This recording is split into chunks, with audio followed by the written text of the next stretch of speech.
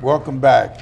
Uh, we're going on the second half of our show, and we have again two outstanding individuals. We're here with us, and I'm so excited. Uh, they have an extreme amount of knowledge Oh, as it relates to uh, what's going on uh, in the educational system. And I'm not going to hold them back. They're on fire. So at this time, uh, we uh, just want to introduce them, uh, Ms. B.B. Coker. Uh, she is the uh, executive director for Black Heritage Educational uh, Programs, but more importantly, many, many other things I could talk on. And we also have Ms. Shannon Griffin, community organizer with the ACLU Delaware. And you know, the ACLU, they don't play. So you hire somebody like Shannon, we know things are going to be taken care of. And I, I just want to commend you on some of the programs and things that you presented. Yes. Uh, and I hate to say this, Christina School District, where you were, were involved with trying to do some things, and some of the other districts as well. And you were very successful. And so I want to commend you on that. And uh, of course, uh, I'm, I'm, I'm not even going to continue to call her uh, Miss B.B. Coker. Dr. B.B. Coker, uh, who just received her doctorate from Delaware State University. Oh, come on. And so we need to honor Right. you this evening, and I want to commend you on that. Absolutely. So, uh, Thank you, Mr. Pritchett. yes, indeedy.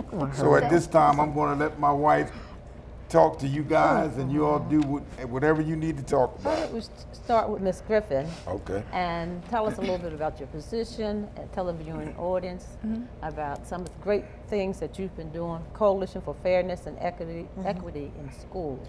Sure, would love to. So, um, I've been, we've been working um, as a community organization or a community group um, for a little over a year now. Um, and the focus really is about discipline, discipline policies, and procedures that are currently happening um, in our state, which is not unlike trends that are happening across the country. And we talk about, you know, um, the, the, the disparity among um, those who are being suspended, pushed out of school, and for what reasons. And so when we when we look at the data in Delaware, um, we know that 75% of all suspensions are boys. We know that in some districts across our state, African American boys are three to four times more likely to be suspended than their white counterparts. Uh, Latino students are twice as likely um, in some districts and you know, the data isn't much better for, for students from low-income backgrounds or special needs students. And so we see that there's a definite problem there, issue there. And so we wanted to take an approach where we wanted to really galvanize, galvanize the community voice because we feel like it's been missing um, from the decision-making tables across our state, particularly when it comes to education. Um, and we feel like this is this is an issue that we can really address and uh, and really rectify. When we talk about you know what kids are being suspended for, well, 68 to 69 percent of all suspensions are for what we call low-level suspensions, mm-hmm. right? So it's not for violence, it's not for drugs, it's not for weapons, mm-hmm. it's for dress code violations, mm-hmm. mm. tardiness, um, disruption of the educational process, disrespect toward a student, disrespect toward a teacher, and so a lot of that comes down to really relationship building, and how and how the adults are engaging with the students, mm. oh, the, the, the youth, and so we feel like if we take a more restorative approach, in fact, research tells us, if you take a more restorative approach, you keep the, the accountability in place. We're not saying the students should not be accountable for their actions, mm-hmm. but what we're saying is we have to take a more common sense approach to mm-hmm. what we're doing and how mm-hmm. we're addressing their behaviors and what we see. Um, and so we know that, you know, suspending kids one, two, three days at a time only uh, impacts us in that the ch- student achievement is for, is impacted because those students aren't there to learn. And so we you know everyone's talking about testing and you know AYP. Well, those kids are having an impact on what those scores look like because those kids aren't there effectively long enough to learn the material. So we're saying that you know we want there's a better way. And from a community perspective, we want to make sure that parents and community members are around those tables. Um, we want to see better supports for teachers. Um, how can teachers build better relationships with their students? You know, how can we address the issue of implicit bias? Okay, we're talking about everything from, from classroom management as well. So, and then how do we work help our districts to work to engage families? I've been I've, I've been a proponent of family and community engagement for almost 20 years. I'm telling my age a little Mm-hmm. bit, but um, and so I know the power that you know parent and community has right. when we engage them in the process. Mm-hmm. Right. And so it's not enough to point fingers to say, well, parents aren't doing this, and they're not. It's not. We can't. It's enough of that. We have to say, how do we work with parents to empower them, to inform them, so they can be a part of the pro- a part of the solution, Mm-hmm. and not what we perceive as the problem. So that's that's it in a nutshell. Very good, and, and so, so needed today because we know that our children, many of them are missing some of those supports, Oh, yeah. Mm-hmm. you mm-hmm. know, from home, and so therefore, we want to make certain that they have a voice mm-hmm. Right. and that that voice is heard. And so, an agency such as your agency and the efforts that you're making are just right on time as far as meeting that need. So we will. That's well appreciated. And then we have Ms. Coker, and I didn't know, realize that uh, she is. Uh, Doctor- Doctor. Oh, come on. Oh, yeah, that's a fact. That's, that's the reality. who wear, who wears many hats, and we're always glad to see you. And I know you had wanted to share some comments that will be in support of uh, what Ms. Griffin has said Oh, as to be far as sure, the, the yeah. uh, uh, speaking about the priorities. Well, we, um, I work with Shannon when I can on her projects. Uh, We have a little group, she has a group that we belong to, but I also know that before, in terms of what Shannon did with parents, in terms of teaching parents how to interact and that kind of thing, I remember those workshops are really good. Uh, I, I guess uh, part of it is not so academic as with me. Uh, I've been with our little educational committee that we're working because there's so many now throughout the city. But I was kind of assigned to Stubbs, and uh, I'm so grateful because I got a chance to see what they were doing and how they're growing. Fantastic! I, I really think that everything uh, that the state wants them to do, that they're really trying with the new principal and the teachers. And I've been to enough meetings. I don't think I've missed one of their meetings now. And the teachers are there, everybody's cooperating. We sit down and get the strategies together and that kind of thing. Uh, I just think that everything takes time. But the one thing I wanted to share was that you're talking about six priority schools. Yes. It's not six priority schools. All schools are priority. If you take that word in terms of what its full meaning is to be, education is a priority. Therefore, yes. ergo, as they say, all schools are priority. Absolutely. And maybe this brings to our attention the fact that we need to treat them all like that. Yes. And we need to sit down and figure out what is that? What does that mean? Yes. And I kind of think it can't be done in isolation. It has to be something between, uh, let's say, uh, the state can look at all of its structure and pull itself together, the parent community, the uh, schools, or the individual schools, because quite frankly, when you really look at learning patterns of children from all the years that I've been around, every kid has an individual learning pattern. I know it would be an awful lot to set up IEPs, individual educational plans for each child, but you know that's really what it takes. Everybody learns differently. And we got to stop thinking that everybody has to fit straight through to the middle of everything mm-hmm. because there are people on this side, that side, and all in between. So if we're really serious about what we want to do in terms of reformation, of our, our public schools so that there is a future, so that whatever is going to happen tomorrow that we don't know about, our kids would be ready to address it critically and that kind of thing. We do need to look at individual uh, patterns of learning. I know that this is a computerized generation. I recognize all of that, but I also know that there is such a thing as traditional learning, which is very basic. It's called human nature in my book. You got to know how to say good morning. You got to know how to say thank you. You got to know how to talk to each other. And we're talking about human beings. So I think that we've got to find a way to combine both. I actually read somewhere now that in the college courses, they're doing this communications to teach people how to communicate. And I'm thinking, are you kidding me? All this business about electronic this, electronic that, people walking don't even look up at each other. Their heads are down and they're dotting and texting and all that kind of stuff. My daughter Joan always said in a funny kind of way, she said, Mom, uh, kids are going to start being born mutated with heads and go down like that because we don't know how to relate to each other.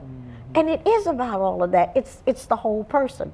So I, I personally think that if we're going to do anything, let's use this opportunity for the better. And I'm like Shannon, stop blaming everybody from the state to who. I don't care who it is. Let's stop blaming each other and stop and figure out. Stop, drop, and roll, as they say. Take our time and get it right for a change. I, I really believe that. I agree. Yeah. I agree. Yeah. Well, you know, I tell you, it's interesting uh, that you guys, uh, young ladies, are bringing up those things.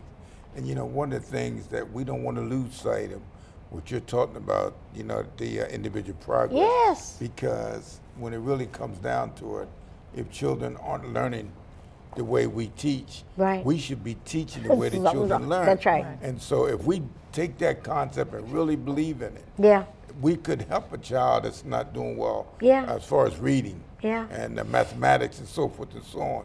So you develop uh, an, an educational plan Mm-hmm. or an individual plan. You work with them for after school Sure. or on Saturdays. Sure. And so you hired the best people that you can to help those young Mm-hmm. people. And I think what happens, so we, we base everything on, on the tests. Oh, please. You know, you Yeah, gotta. that's the holy grail. one- Yeah. You know, and when you think about it, you look at the individuals, and it doesn't mean because you live in a house where it's not a very nurtured home Yeah. that you can't become a doctor or a that's lawyer. right, that's right. not what I'm saying. Right. What I am saying though is that always keep in mind that if we're developing a plan for these children, Mm-hmm. that when they take the test, the pre and the post or Yeah. whatever, that we test them on what they are able to do or did they make any? I don't care if it's just uh, maybe two or three areas they improved in, just a Mm-hmm. little bit. But don't just cut them off and say, oh, no, they, they reject that. Because there is some growth that's being done. And you Mm-hmm. But got to look at that. it's it's also I think it's it's a responsibility for all of us as a community. Uh, not to look at that test, any any of our testing, it, it, it has to, there has to be a system of accountability. Yeah, you're right. There has to be a system of assessments. Yes. There has to be growth in that kind of thing. Don't use it to punish, but use it to measure what do they need now that I have to offer. It's like that assessment. You know, that's the next step. okay, and once I test on that and say, okay, you're here, let me see if we can keep growing. Wow. But we're so busy uh, thinking about just one thing. And, and I think that, I, I still think that this is such an opportunity, even with my heart being broken about what's coming out about my school now with Moyer. But I, I, I think it's an opportunity for us to really build a model system that believes in effective, not excellence, effective education for children. I really do. Mm. And it means that we've got to look at our universities. Are we really getting in that education major everything that they need to at least get a good start? Is there a mentoring system once they come out? Uh, I, I've told you this many times, and you know it. I have said that, okay, a doctor has four years of undergrad, five years of medical school, 10 years of residency to be, say, like a head and neck surgeon. Okay, but you've got my child five days a week, seven hours a day for 12 years of their life. You don't think I have to have the best standing in front of that classroom brainwashing my child? Mm-hmm. Oh, yeah, I do. I do. And we need to revere teaching. Everybody had a teacher. That is an extremely honorable profession in my book. It's the best. Mm-hmm. Everybody had a teacher, good, bad, or indifferent. I think for years we got hung up on the the idea of a highly qualified teacher, right? that Hello, was we, thank we were you. on that train for a long time. Highly qualified, highly qualified, and I don't disagree. But I think we lost sight of highly effective. That's And right. those two things are That's not right. mutually No. inclusive of the of, of, of, of each other. That's right. And so we need both. But you have that, and then you put that highly effective, um, highly qualified Yes. teacher in a classroom Yes. with 25, 30 kids. So it's like, you know, I, I, I totally agree with, with Ms. B.B. in that this is a perfect opportunity to Oh, finally is. get it right. Yeah. We already know what we Yeah, need. that's right. It's do and we and so it's it's do we have the will and are we going to make those things a Yeah. priority? Yeah. Right? So are we really going to look at we know that, you know, kids from different backgrounds, challenging backgrounds, Sure. whatever the case may be, they need more resources. That's right. That's right. We know that. That's right. So this idea of you know equal is fair kind of business. Well, we do everyone a disservice Mm-hmm. because this one child may need more money or t- and resources Right. to be properly educated than the other kid. That's right. But we're afraid because well, if I give to this kid, it means I'm taking away from that kid, and that we Mm-hmm. have to change that mentality because that keeps us stuck, and we'll just give everybody That's the right. same, and so we fail everybody. So we know that, that we have to we have to address how you know this needs funding and That's how schools are funded fundamentally. That's right. And then we have to look at how they're structured. How are they set up? Mm-hmm. Are they really structured and designed to give the kids the things that we say we know that they Yeah, need? yeah. Well, you know, all the social ills students are bringing into the classrooms. Oh. How are we properly addressing those Mm-hmm. issues? A teacher can't do that, and I think you know it's unfair to say school system you do and you fix it all. wrap around. They can't. They, right. We have to have better coordination and, with services, Mm-hmm. with social services and those agencies that are better equipped Yeah. to, to, to work with those families Yeah. and deal with those issues. There's that, those kind of partnerships are a must. Yeah. You know, and then the whole idea of class size. Well, if we, we say, well, you know, the funding issue, well, it's too hard. No one can figure out how it's done. I don't buy that. It gets down to will and priority. So what do you what do you think uh, in, in reference to why they're not bringing in social services and and uh, uh, mental assistance or, or uh, mental type programs, not not health. mental Mental mental health. health programs where they would uh, work as a team. Wh- Why do you think that's not happening in certain districts? Well, I mean, I think some In schools, some schools do. schools they are doing They it. are doing but, that, But mm-hmm. you have to you have to have a really creative Yeah. Mm-hmm. leader to figure out Right, right, how they're going to fund that, how they're going to make it work. Yeah, And so, do I give up a reading specialist Yeah. for Oh, a gotcha, psychologist? gotcha. Mm-hmm. And you should they should have to make those kind of mm-hmm. decisions. Mm-hmm. Quite frankly, they need three, four, five of each of them. Eat, yeah. Right, Yeah. that- that's yeah. yeah. So it is happening, Yeah. but it's not happening to the scale that we know it needs to happen. Oh, we just have to decide. We have to decide. I'm like Shannon. You've got to decide do you want an educated future or not? Mm. It's like I don't knock all the stuff that the legislature has done for guys that are uh, coming out of jail. I, I, I admire that. They, Reentry, they uh, moved that Xbox with the felon. But it's like, I, and I don't joke about this, but when I can't read the application, doesn't make any difference to me if you didn't, if I don't have to check Right, that check felon felon. box. I don't know what it says, and that's not to put anybody down. But the reality is that reading at uh, i- i- in our uh, system, in our penal system, the level is rather low, and that reflects on us. It doesn't reflect on the guys in the prison. It reflects on us. What are we doing? What educational programs are in there? From the day that you go into a prison, you should be about the business of starting to train me, help me uh, uh, to, to, to what I'm going to do when I get out. You don't wait six months uh, out. You don't wait a year out and say, well, we're going to get them ready. No, no, no. The day I walk in the door, I got to be thinking about what am I going to do when I come out.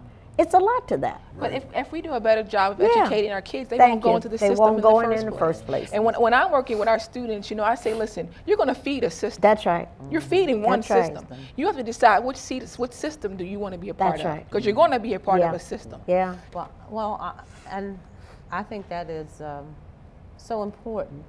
And, and I think a key word that we can remember is about relationship. Yeah. Yes. Relationships. And if That's we right. look at relating with that child, Yeah. we will meet not Oh, only the my goodness, yes. academic, but Yes. his mental health needs, Yes. Right. and build the type of relationship that Yes. will, as Yes. Michael said, reach the heart, Yeah.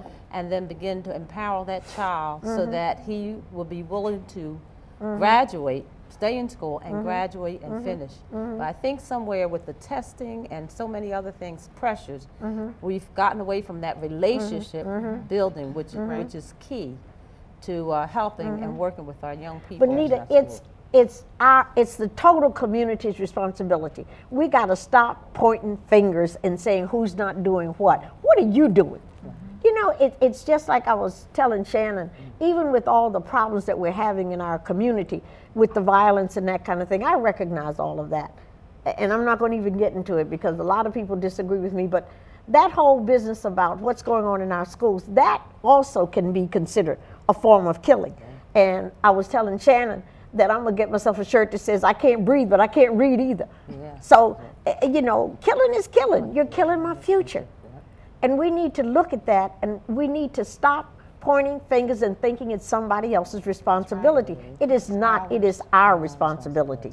I mean, if you check the stats as to why we're supposed to be the murder capital of the world of cities our size, I'd like for y'all to look at what that ratio is of us to us to bring those uh, stats up. You'd really be shocked.